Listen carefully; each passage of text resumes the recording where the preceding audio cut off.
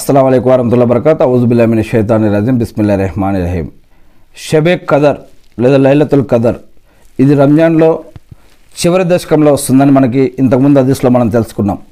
అంటే రంజాన్ని మూడు భాగాలు చేస్తే కనుక మొదటి పది రోజులు రెండవ పది రోజులు మూడవ పది రోజులు.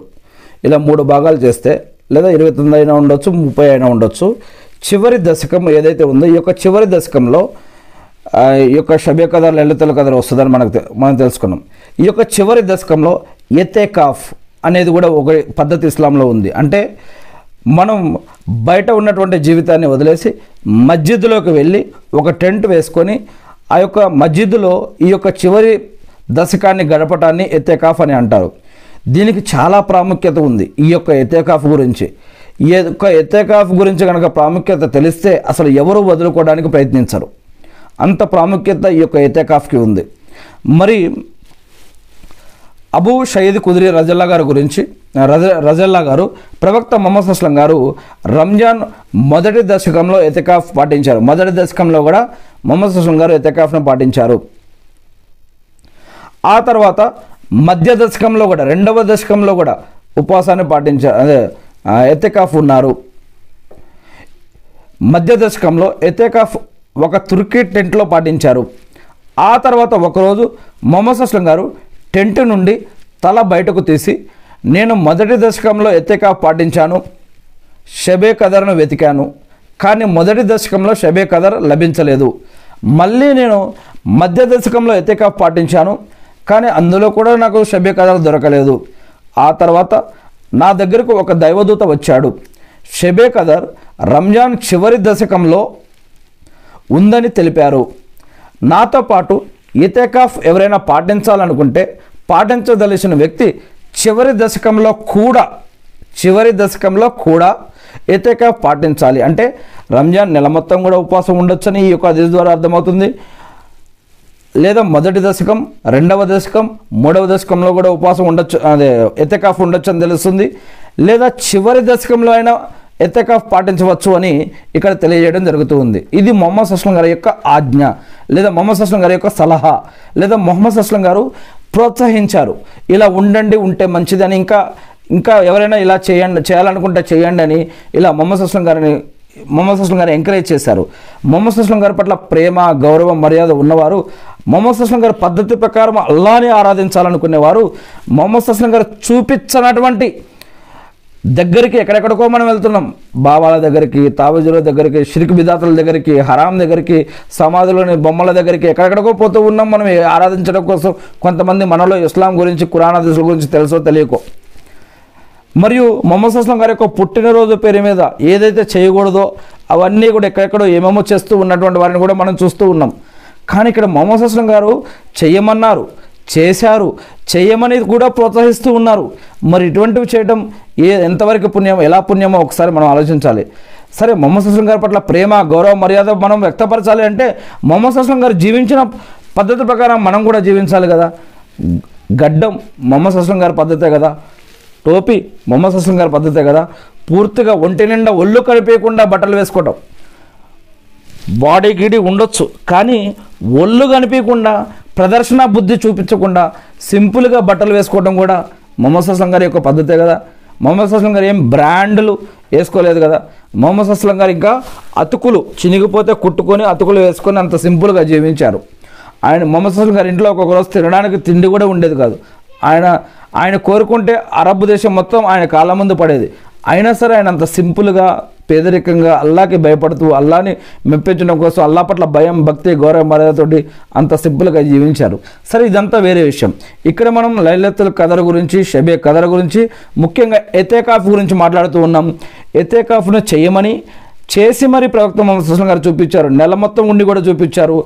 చివరికి చివరి పదవులైనా ఎవరైనా ఉండాలనుకుంటే ఉండండి అని చెప్పారు. కానీ ఇది ఫర్జ్ కాదు. అంటే అల్లా యొక్క ఆజ్ఞ ప్రకారం రంజాన్ నెల మొత్తం ఖచ్చితంగా ఉపవాసాలు ఉండాలి ఉండాల్సిందే. అది ఫరస్ కానీ ఈ యొక్క ఎతేకాఫ్ ఆప్షనల్ అంటే ఉంటే మంచిది ఉండకపోతే పాపం కాదు. కానీ ఉండండి ఉండాలనుకుంటే అని మొహమ్మద్ అస్లం గారు ప్రోత్సహించారనమాట ఇక్కడ.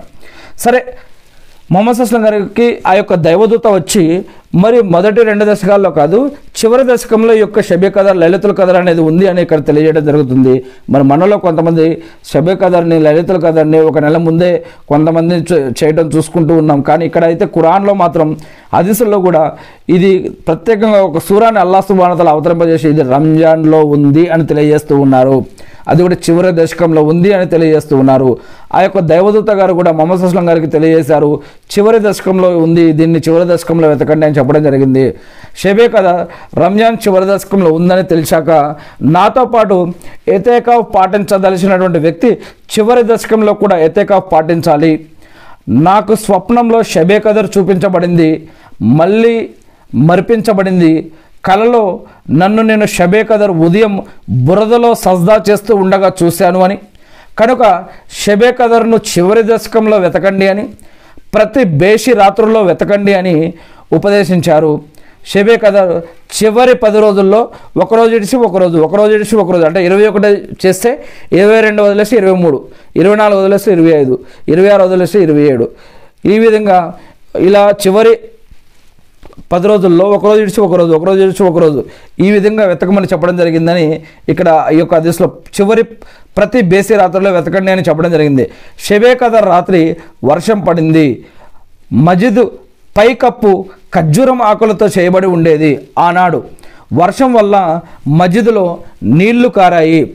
మజిద్లో అంతా బురదమయం అయిపోయింది.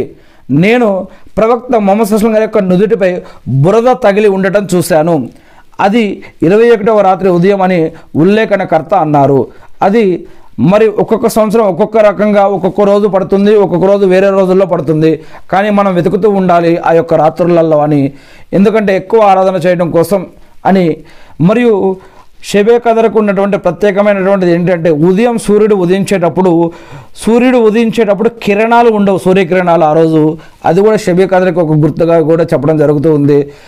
ఇది అంతా కూడా నేను బుకారీ హదీస్ గ్రంథం నుంచి మరియు మిస్కాతుల మసాబిహ్లోని రెండు వేల ఎనభై ఆరవ హదీస్ నుంచి తీసుకోవడం జరిగింది. షబే కదర్ని ఇరవై ఒకటి ఇరవై మూడు ఇరవై ఐదు ఇరవై ఏడు ఇరవై తొమ్మిది.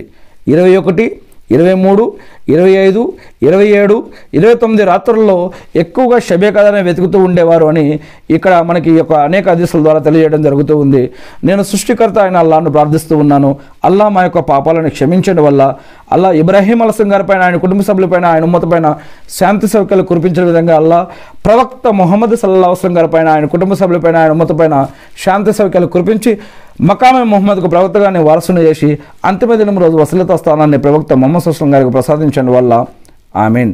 అల్లా మా యొక్క పాపాలను క్షమించడం వల్ల మాకు మా యొక్క నమాజుల్లో ఉపవాసాల్లో జీవన మరియు ఆరాధన పద్ధతుల్లో మా ద్వారా జరిగిన తప్పులకే మిమ్మల్ని క్షమాపణ వేడుకుంటూ ఉన్నాం వల్ల అల్లా మా యొక్క పాపాలను క్షమించండి వల్ల మీ యొక్క రెహమతోటి కరుణతోటి మమ్మల్ని రక్షించండి వల్ల అల్లా మా భార్య బిడ్డలని మరియు మీ యొక్క దాసులని మరియు నీ మార్గంలో ఖర్చు చేస్తున్న వారిని నీ మార్గంలో పని చేస్తున్న వారిని గడిచిన వారిని ఇప్పుడు ఉన్న వారిని రాబో వారిని అందరినీ కూడా ఆశీర్వదించండి వల్ల అల్లా మా అందరినీ అన్ని రకాల ఇబ్బందుల నుంచి రక్షించండి వల్ల ఇహలోకంలో సమాధి జీవితంలో పరలోకంలో కూడా కాపాడండి వల్ల అల్లా మీరు సృష్టించిన సృష్టిలోని సైతానం నుంచి జిన్నాతుల నుంచి మనుషులు చేసే ఆగడాల నుంచి కుట్ర కుతంత్రాల నుంచి అవమానాల నుంచి అప్పుల నుంచి ఆకలి దెబ్బల నుంచి షిరుకు నుంచి బిదాత్ నుంచి హరాం నుంచి అల్లా ప్రాణం పోయేటప్పుడు బాధ నుంచి దజ్జాల ఉపద్రవం నుంచి యాజ మాజుల నుంచి వల్ల మరియు అనేక రకాల చెడు ఆలోచనలు చెడు అలవాట్లు చెడు పద్ధతులు చెడు ఊహలు ప్రతి విషయం నుంచి కూడా అల్లా నేను మీ యొక్క రక్షణని మీ యొక్క సహాయాన్ని వేడుకుంటూ ఉన్నాం వల్ల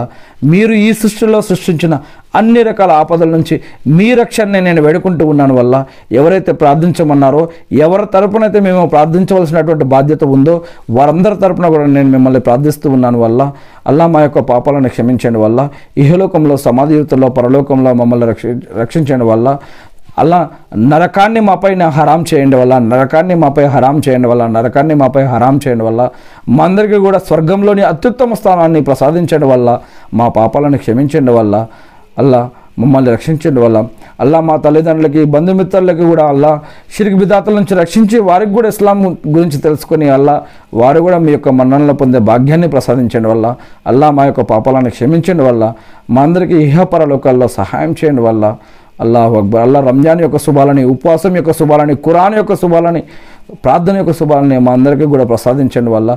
మీరు మాపై ఉంచిన బాధ్యతలు నిర్వర్తించడానికి కావాల్సిన ఉపాధిని బరకత్ని రక్షణని సహాయాన్ని మాకు అందించండి వల్ల. ఆమీన్. అల్లాహు అక్బర్. అల్హమ్దుల్లా సుబాన్ అల్లా అల్లాహు అక్బర్. అషద్ అల్లా ఇలాహ ఇల్లా అల్లాహు అక్బర్.